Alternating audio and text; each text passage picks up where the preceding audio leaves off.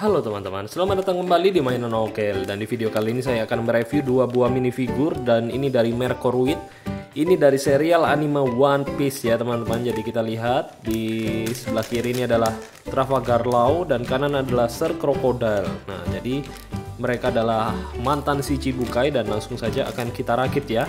Kita mulai dari Law terlebih dahulu. Check it out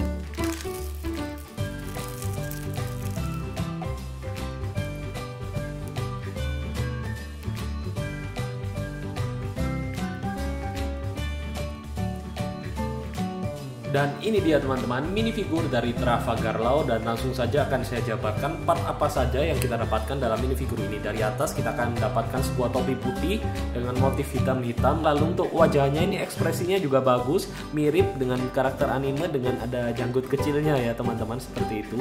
Lalu untuk torsonya kita mendapatkan torso hitam seperti ini dan di print pada bagian belakang, samping bahkan depan teman-teman.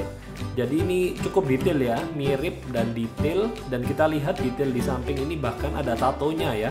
Lalu untuk kakinya kita mendapatkan sebuah celana jeans biru dengan motif uh, di depan ya, ada print di depan, sedangkan untuk samping dan belakangnya polos.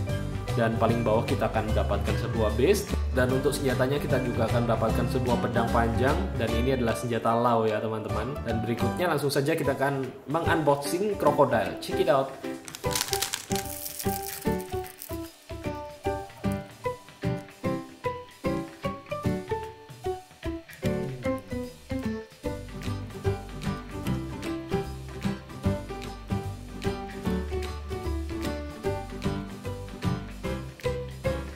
Ini dia teman-teman. Minifigure dari Crocodile dan langsung saja akan saya jabarkan part apa saja ya yang kita dapatkan dari atas ke bawah. Paling atas kita akan dapatkan sebuah rambut klinis jadi rambutnya disisir ke belakang. Lalu untuk wajahnya ini cukup detail. Kita lihat dari mata kerutan rokok bahkan jahitan di itu juga sangat detail ya teman-teman. Jadi ini salah satu keunggulan Kroid yaitu detail dan mirip ya. Yang berikutnya adalah torso teman-teman. Kita mendapatkan torso orange dan tangan putih. Nah seperti itu. Jadi telapak tangannya juga ada yang kail dan juga tangan biasa ya. Kemudian untuk jubahnya kita mendapatkan jubah hitam seperti ini teman-teman.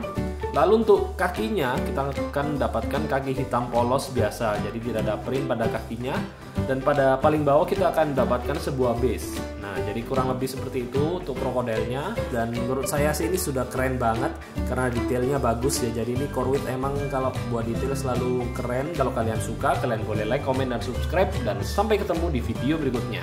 Dadah